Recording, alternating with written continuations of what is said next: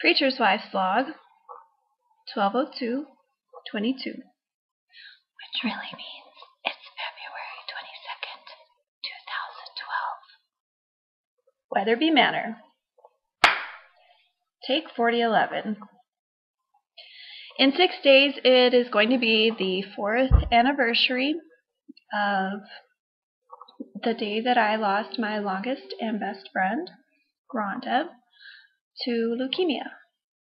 And since she died, I have been trying to figure out how to become a bone marrow donor in her honor. And I had never been able to find a place to do that in our area where we lived, but almost a year ago now we moved.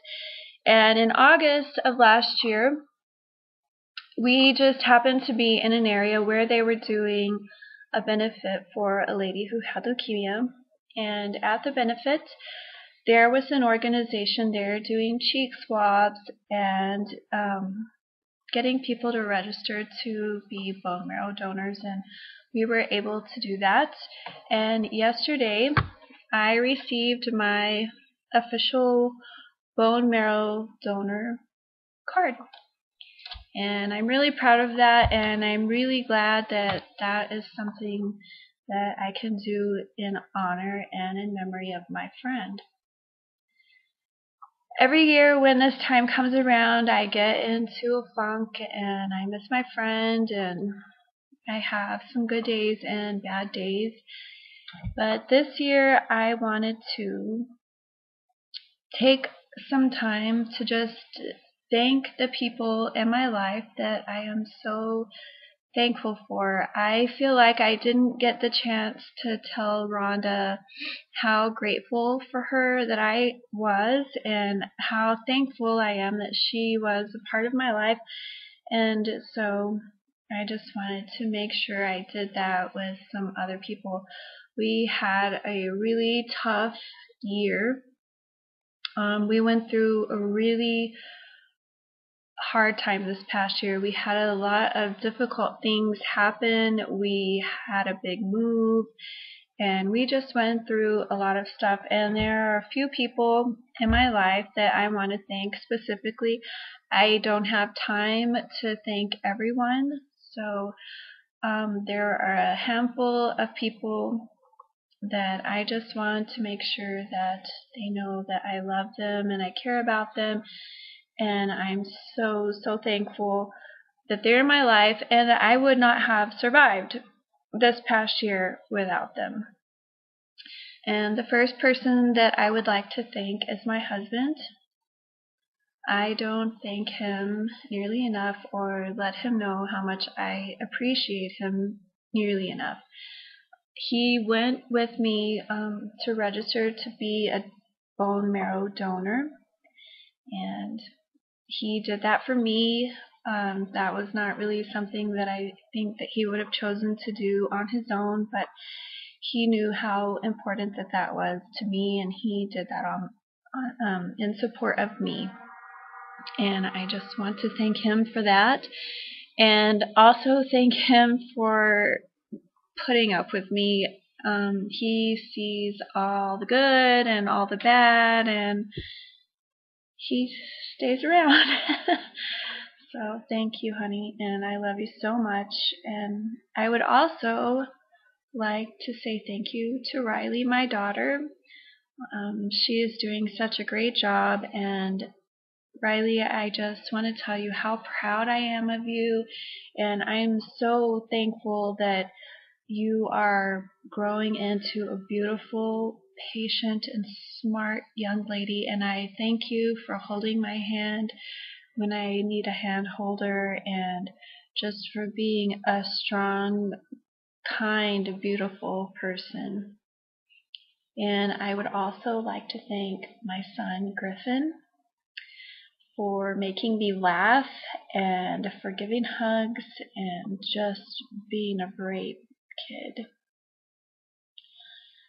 The next person I would like to thank is my sister Elizabeth. She gets to hear me rant when I'm kind of out of control and when I'm freaking out and panicking and she talks me through things and she listens and she doesn't judge me. Um, she's just a wonderful, wonderful person. She's doing really great things in her life, and I am so thankful that she's in my life, and I'm so thankful that she's not just my sister, but that she's a really great friend. The next person I would like to thank is my Aunt Rhonda.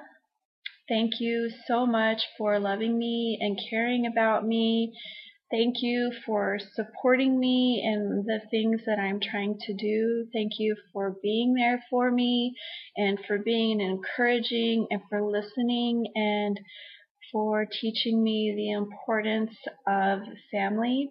And thank you.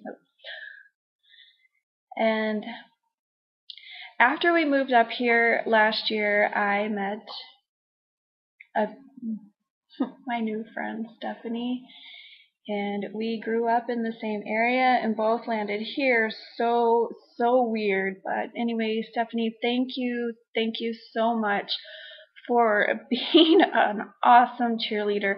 Thank you for encouraging me and for supporting me and for loving me when I'm hard to love. Thank you for showing me how to be friends. Um, to be a good friend when it's really hard to be friends sometimes. I watch you and I, I see how you treat your friends, and you are an awesome, awesome friend. And I thank you so much for modeling that for me. I appreciate you so, so much. And then the next person that I would like to mention and thank is my friend John.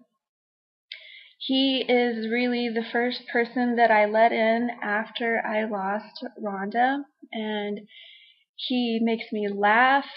He listens to me without judging me. He lets me rant. He lets me be silly. He lets me have my ADD moments.